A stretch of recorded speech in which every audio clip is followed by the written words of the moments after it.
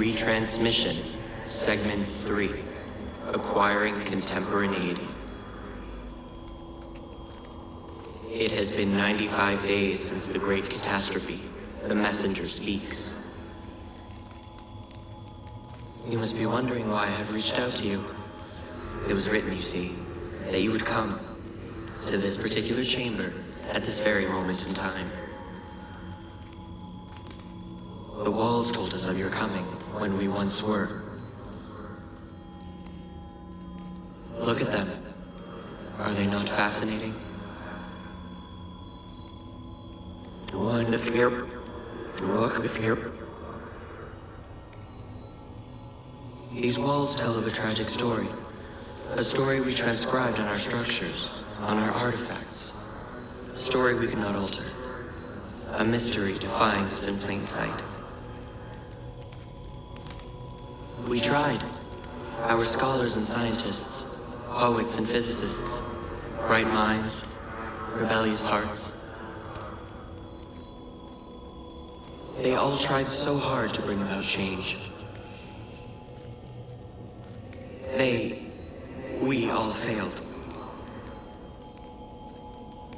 None could change what we discovered, the stories written into the walls of these rooms.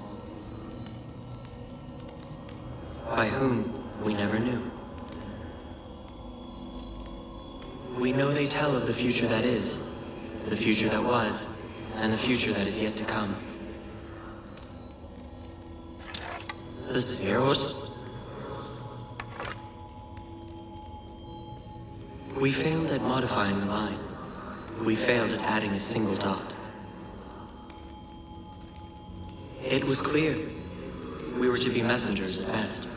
But messengers to whom? To you. We removed our ability to read those stories from your original template. A doorway that is also a puzzle. We must find the solution. Those were Brutus's words when he visited the vault under the Colosseum more than 2,000 years ago. He drew the vault, sketched it to the best of his abilities, but he could not see. Just as you are blind, you may read your watch, you may read hourglasses and calendars, but you cannot grasp beyond that simplistic surface. For now, the true reading of time still escapes you. And so today, the curtains pulled and the Eros is shown, tragic and complete. Those walls you might never read. Events yet unfold as written. But something, anything must change. You do not understand what is at stake. The reader has no power. He is but an observer. But the author? The author invents the future. The author owns the future. A future where zeros are avoided.